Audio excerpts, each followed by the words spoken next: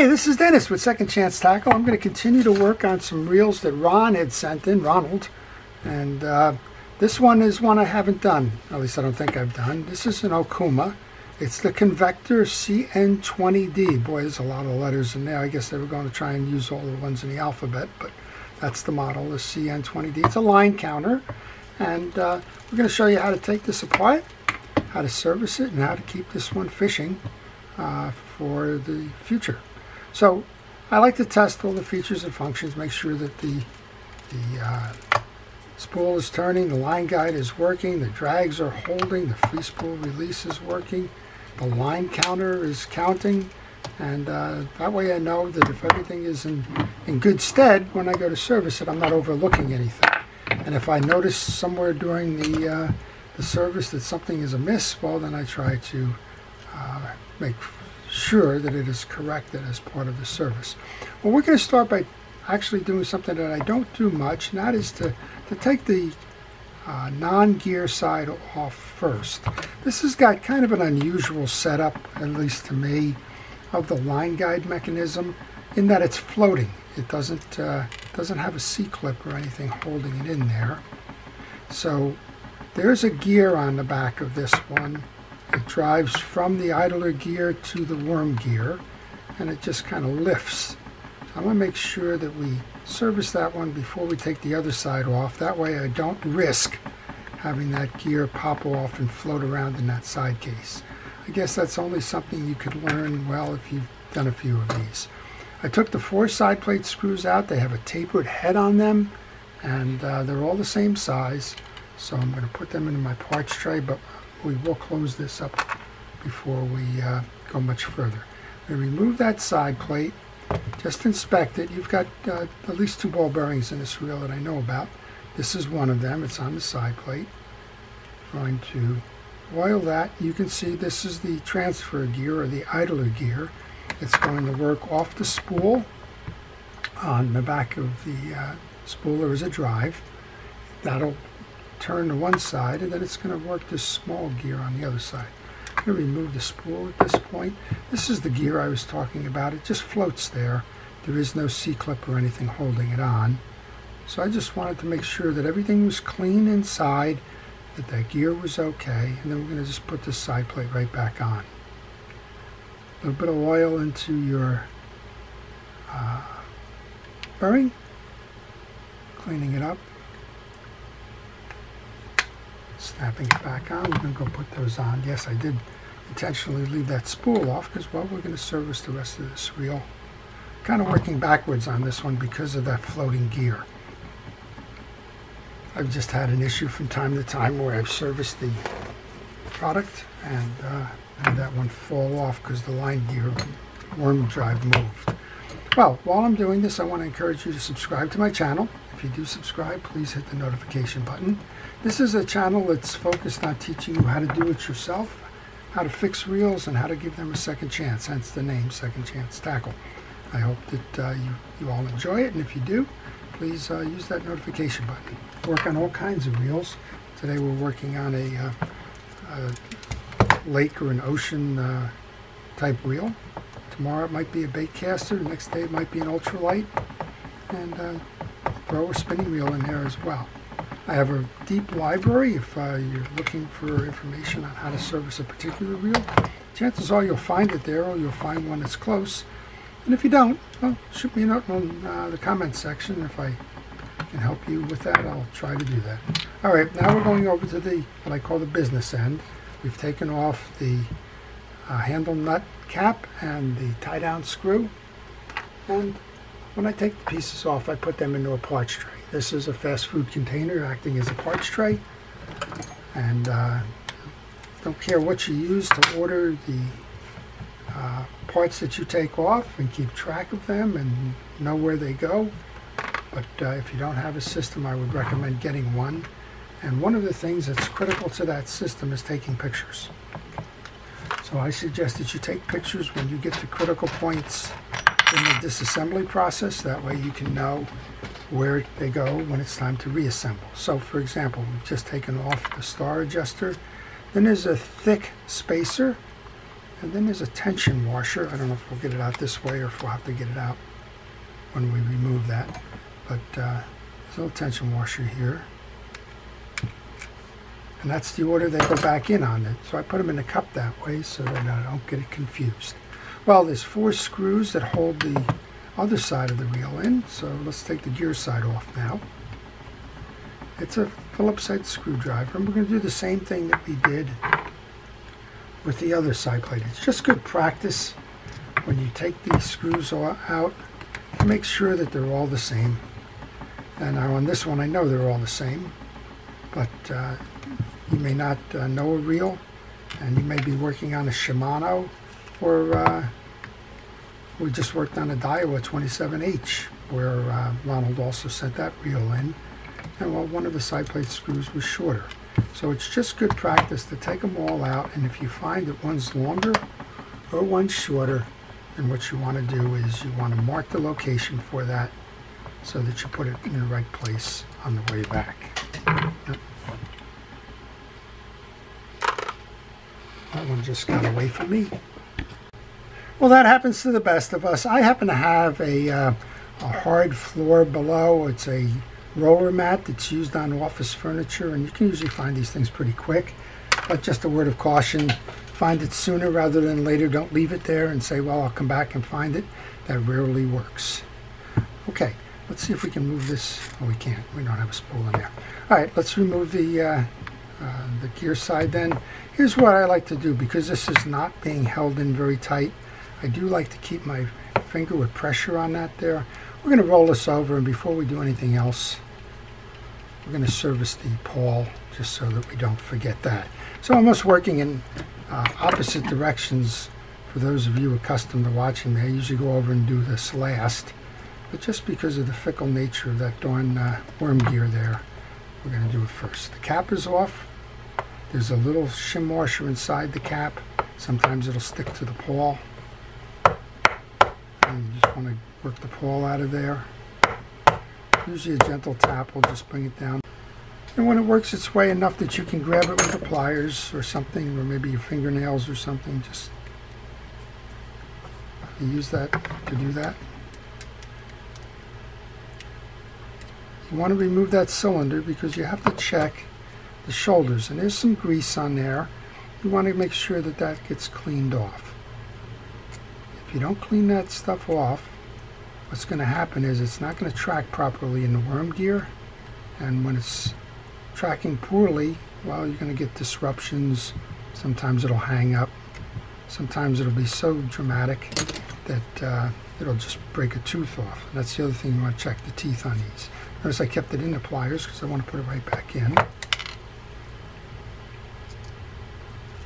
So that we don't, uh, don't lose that. With the pawl seated, you want to oil that cavity and you want to get some oil on that uh, worm gear. And notice I'm holding that uh, assembly in so that it doesn't slide. Like I said I've had experiences where this thing's just slipped off.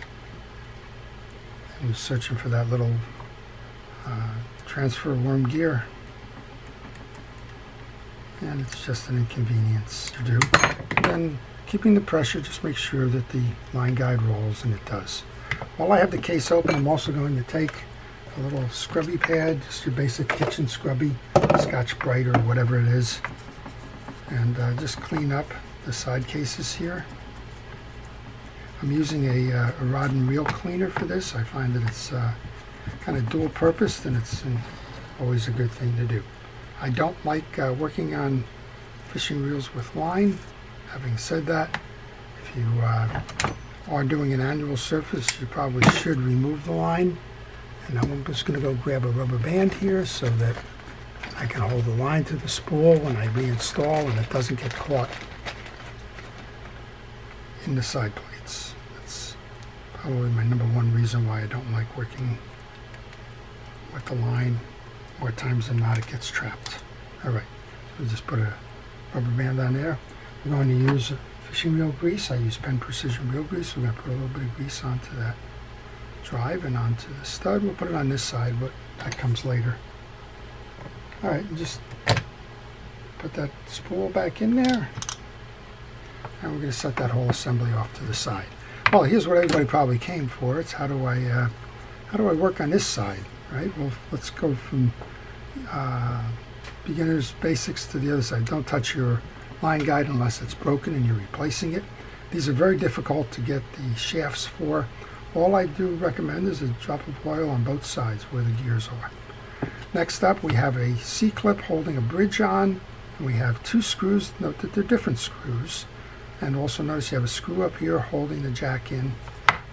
Good time to take a picture. If you are unfamiliar with this reel, that picture will help you immensely. There's a lot of kind of funny little things that go on in this one, and uh, they don't become funny if, uh, you're searching for where to put these parts. Let's just call it unique rather than funny. How's that?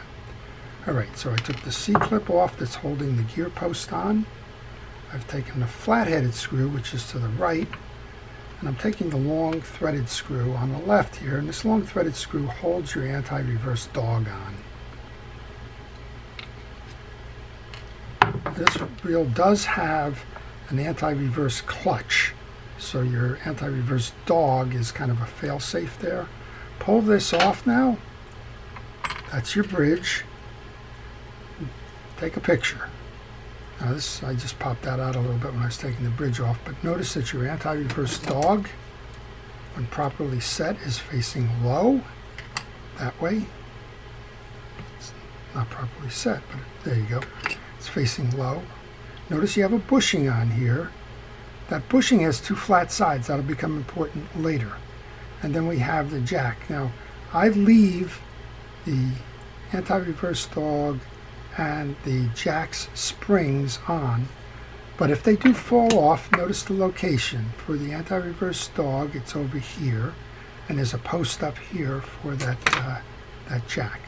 All right, I'm going to pull this little spacer out here that's holding that anti-reverse dog in place. And then I'm just going to move the anti-reverse dog out of the way. If it's dirty, go ahead and clean it up but most of the time it's not. And you can just flip it off to the side there. You do not need to remove that or the spring. I'm going to do the same with the jack, the free spool piece. It's got a very small screw in it. It's a uh, Phillips head as well.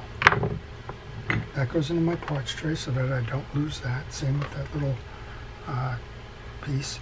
Now I'm going to pull the piece spool jack up. I'm going to do the same thing. Just going to lay it over to the side there. There's a little bit of dirt on that side, so I'll clean that out while I'm at it. But I'm going to leave that spring attached. Okay, here's the business part of the reel then. We have the yoke and the pinion gear, and we have the, the main gear stack. You're going to push the main gear stack out. Out came the anti-reverse clutch. There's a little seal washer that goes between the spacer and the uh, clutch. We're just going to clean the inside of this cavity. There is some dried grease in there, so let's get that dried grease out. I'm going to use a screwdriver is a scraper. And there's a bushing on the back of this one. I scraped out the dried grease. We're just going to use a little bit of penetrating oil to clean up the rest of that. I'm going to use a cotton swab, aka a Q-tip. And I'm just going to make sure that that is clear. Now you saw me put that anti-reverse clutch back in. If you have yours out, note that the plastic side of that anti-reverse clutch faces in on the reel, that the other side is a metal side that faces out. All right, let's clean off the yoke and the pinion gear. This reel kind of felt like it needed some basic greasing, and that's exactly what it does need. Check all of the teeth on the pinion gear, make sure that they're clear. They are, there's no grease or anything left in that. And uh, that they're not chipped, broken, or cracked, or in any other way distorted. If you have questions on this reel or any reel in particular, please leave them in the comment section. I do try to answer them. And uh, if you're stuck on something, well, I, I try to get you unstuck. Okay, this is the way it goes back in. There's a slot for the spool. It faces out. There's two ramp sides of it facing out. We didn't remove them, but there's two springs on the inner case here. Those are the springs for the yoke, so if you're uh, if you have them out, that's where they go. I'm going to put that over the top, press down. Then I'm just going to bring that jack up and back in again. That's all you needed to do on this service side here. Then we want to go to our parts tray, get that. Uh, well, I'm going to leave that out. I can't do that yet. It's been a while since I worked on one of these. Let's leave the, the arm off there. Got to put the main gear back in. Let's go over to the main gear section then. We have a, a washer. Make sure that's clear. We have a click ratchet.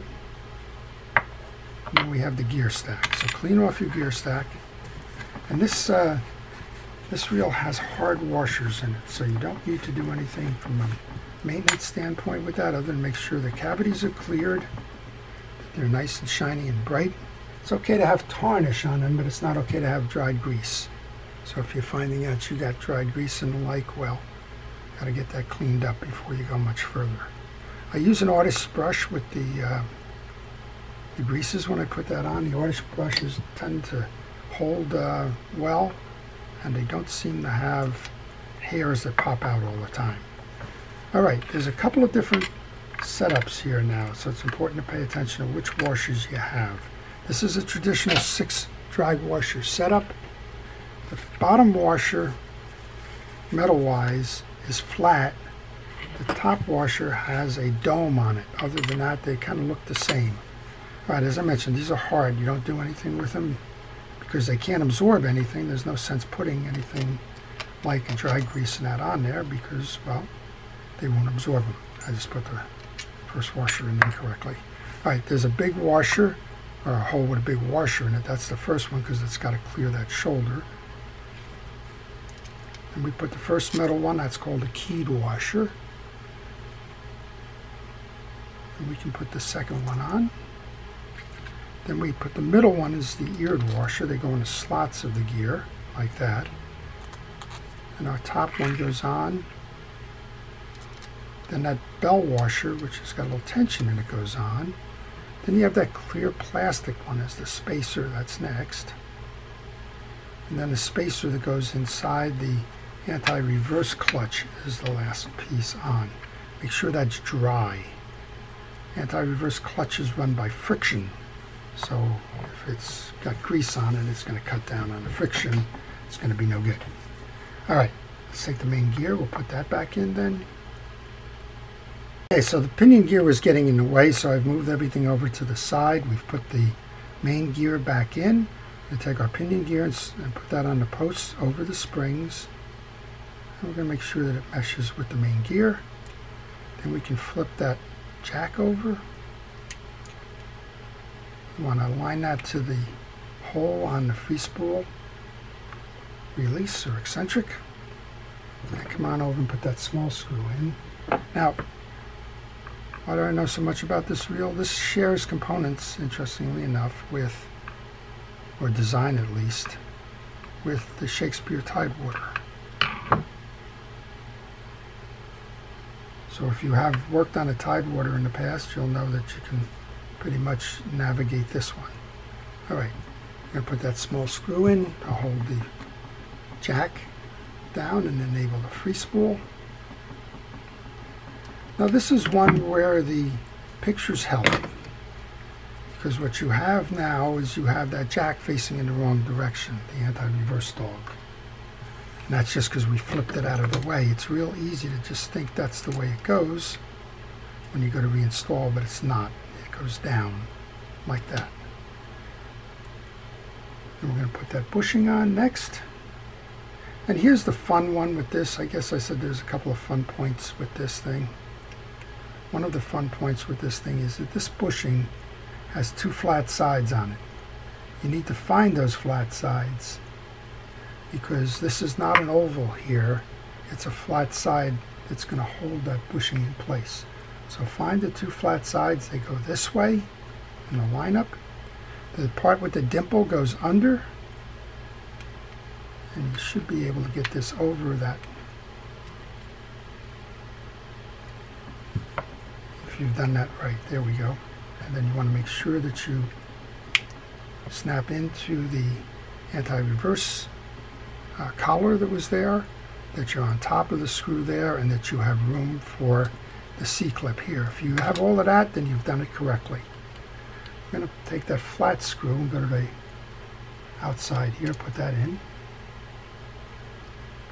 So like I said, it's not partic particularly difficult reel to work on, but it's just one of these things that you have to kind of learn what little tricks go along with it if you want to do it efficiently, like that worm drive. That's a, a nightmare. I don't know why they didn't hold that worm drive in with a C-clip, but they don't. And so you get to figure it out after a while. All right, the long screw goes through that collar that's holding your anti-reverse. Now there's a washer that belongs on the bridge underneath the C-clip. And then the clip goes on. I said C-clip, I guess that's an E-clip. I just seem to call them all C-clips. Then I'm going to use the pliers to pull that down.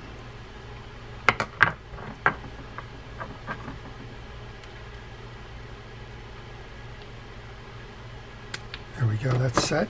And if you like right now, you can give it a run. Make sure everything is working right, not binding or anything. It's time to reinstall this now. We put this the grease onto the spool already. Just match it up. Some pretty big cavities there. When you do that, make sure that all of the seams where that side plate is going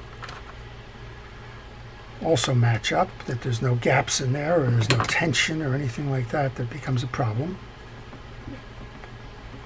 We'll go ahead and put the screws in. I like to put these in in opposing directions. So if I got one on that side, I'm going to come all the way over to this side for the next one. And two more, and this will be completed from a gear side service standpoint. And we'll just put the rest back on. We'll give it a final test. Get this one back to Ronald and wish him great fishing.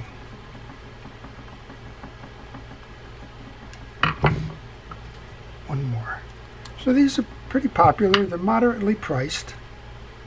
They're no Okuma product, and they've had some nice ones. And uh, these certainly stand the test of time. There's one of the things that's nice about this is you don't get much corrosion on these because of the, the casing and design.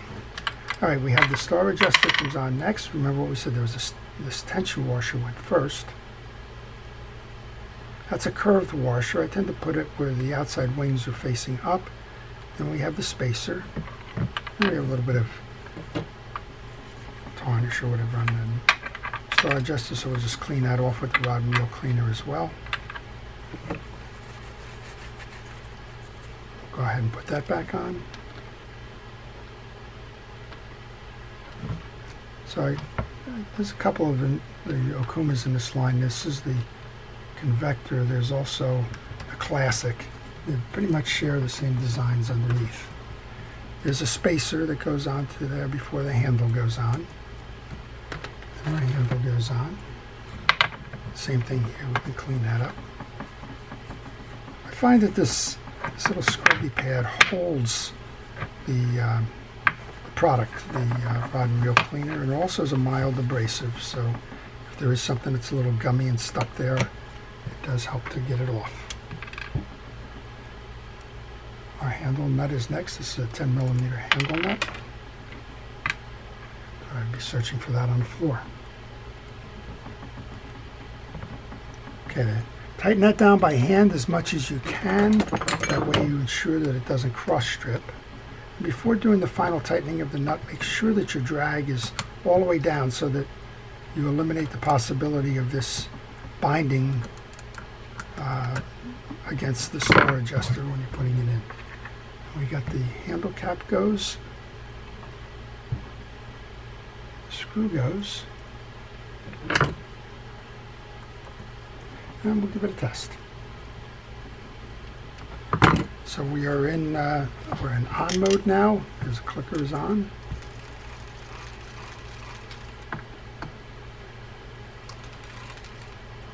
Just adjusting the spool. Nice easy movement. My uh, my line counter is working. I want to make sure of that. Go to free spool, make sure that's free spooling. There's a automatic trip lever return on this one. Make sure that that's working.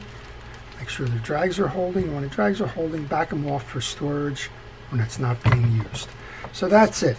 This is your Okuma Convector CN20D. It's a long, round bait casting reel suitable for ocean and deep lakes and uh, with a line counter that's used to track where you are in the depth uh, when you're getting those strikes. So I hope you've enjoyed that. If you did, please like it. If you want to see more, again, please subscribe. To all of our first responders and essential personnel, thank you for everything it is that you've been doing to keep us safe. To everybody, please stay well, stay watching, and have a great day fishing. This is Dennis with Second Chance Tackle.